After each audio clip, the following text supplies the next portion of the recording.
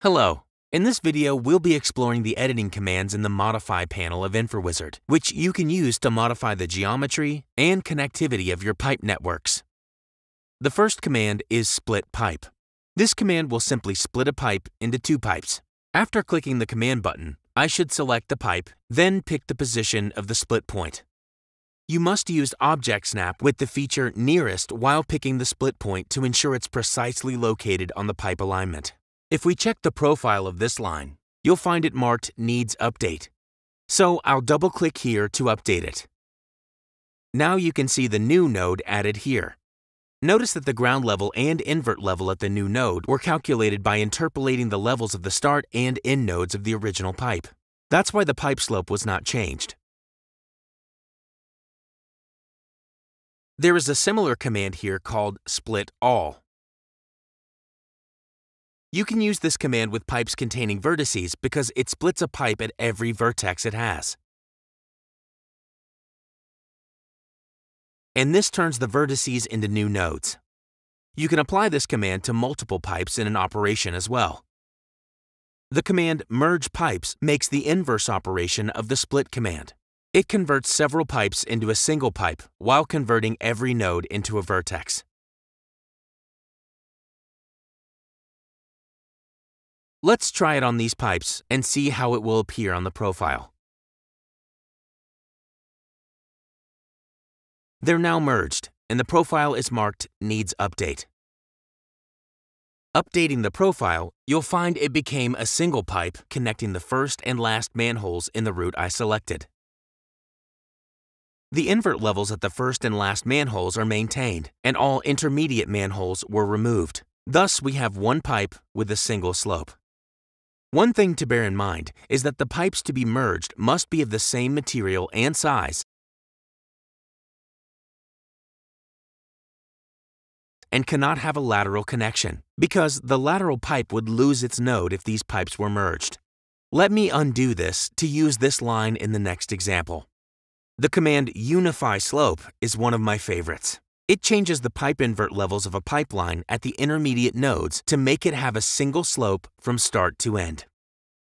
For example, we have a sewer line of four pipes containing three different slopes. I'll click Unify Slope and select all of the pipes. Press Enter, then update the profile. Now the whole line has one uniform slope from start to end. What InfraWizard does is that it keeps the invert levels at the start and end of the line unchanged, then recalculates the invert levels at all intermediate nodes to satisfy the uniform slope from start to end. You can do this in gravity networks and pressure networks as well. It can be very useful in creating new networks. For example, I can quickly create a series of pipes from these lines. Assign invert levels to start and end nodes only,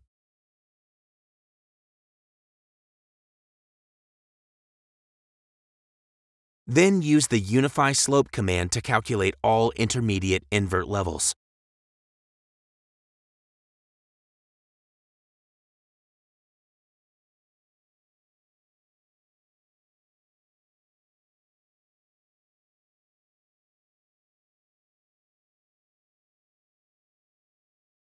Notice that if you have pipes of different diameters in the line, InfraWizard will ask you to choose a matching setting at the nodes to enable calculation of intermediate invert levels.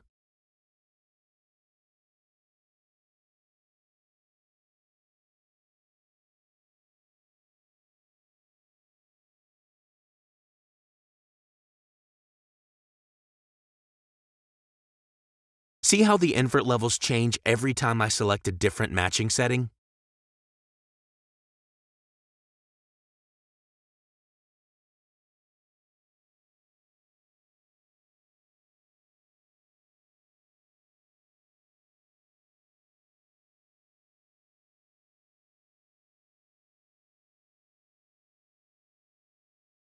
The command reverse pipe switches the assignment of start node and end node of the pipe without changing its invert levels.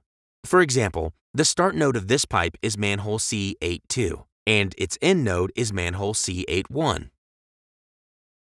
If I reverse this pipe, you'll find that manhole C81 became the start node, and C82 became the end node. And the direction arrow was reversed. However, the invert level at either manhole was not changed, and that's why the longitudinal profile of the line was not marked Needs Update. The command reverse pipe is sometimes useful when you import a gravity network and find that direction arrows of some pipes are not following the flow direction.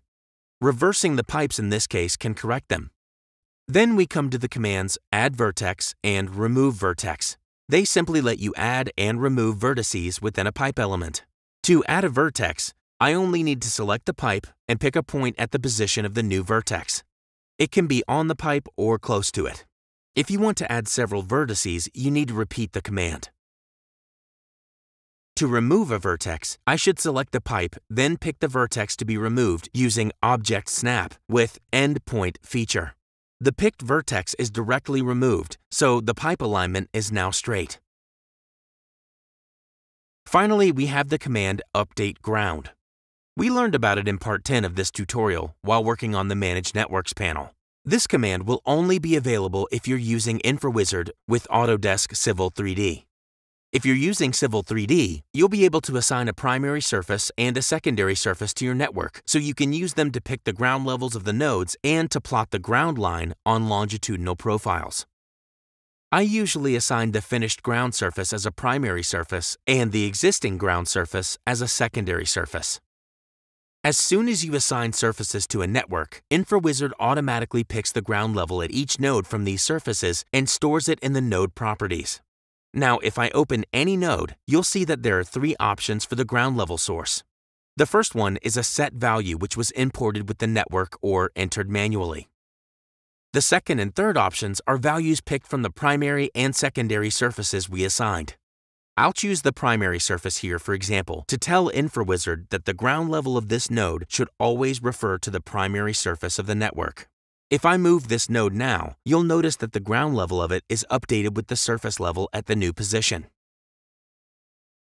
The only case you need to use the command update ground is when you make an edit to the definition of the surface itself, because such edits cannot be detected by InfraWizard.